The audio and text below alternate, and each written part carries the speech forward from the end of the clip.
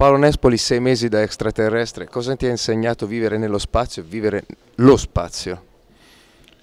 Beh, è un'esperienza direi fuori dal mondo, innanzitutto è il, il coronamento di un sogno e quindi mi ha insegnato che i sogni, anche quelli impossibili, se uno ci lavora, se uno ci si mette d'impegno, ogni tanto si possono realizzare. Poi mi ha insegnato a, a guardare le cose con un pochettino più di distacco, a rivedere le cose di tutti i giorni, perché quando si rivedono le cose, anche le cose più semplici, si trova anche il modo di farle meglio.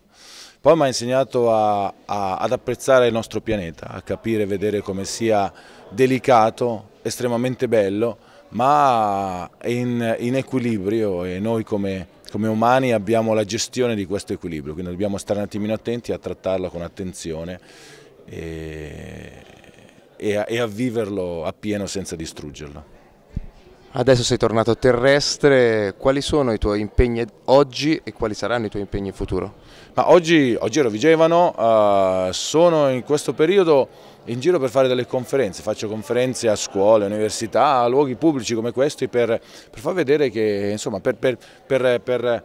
per dire quello che dico di solito, ovvero che dobbiamo sognare, dobbiamo lavorare, dobbiamo fare queste cose, sono sempre cose interessanti. Dove, quanto e soprattutto quanto lontano può arrivare l'uomo nello spazio? I limiti sono quelli che noi ci poniamo.